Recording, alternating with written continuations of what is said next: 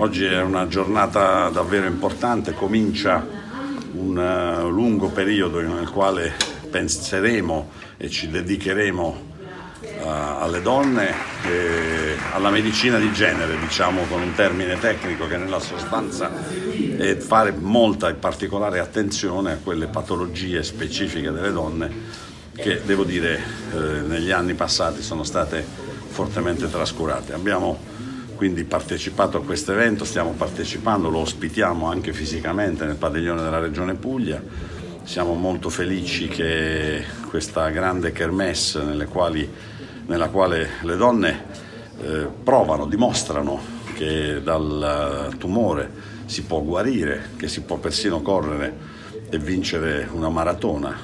Ecco, questi eventi sono per noi eh, il senso di una comunità, perché la malattia si sconfigge certamente con terapie, tecniche, eh, attenzione, prevenzione soprattutto, ma si sconfigge anche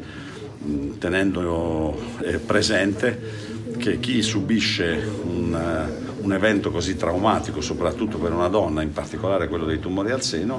uh, può tornare a vivere meglio di prima e con ancora maggiore consapevolezza. Quindi questa unità di intenti eh, costruisce anche una medicina di comunità, se mi permettete, che non è solo, ripeto, tecnica, ma è anche profonda umanità. E naturalmente la Regione Puglia sta seguendo con grande attenzione un movimento spontaneo, meraviglioso, che chiunque potrà seguire o partecipando direttamente alla maratona o, o comunque facendo parte di questa associazione. Komen ovviamente non organizza maratone, la maratona è un pretesto, organizza consapevolezze e questo ovviamente soprattutto delle donne e di chiama le donne, quindi eh, ci auguriamo che questa consapevolezza e la programmazione degli screening, che oggi è sicuramente possibile, eh, ci consenta di prevenire e, e, prendere questi tumori nella fase in cui eh, gli eventuali interventi terapeutici sono molto meno dannosi e molto meno traumatici.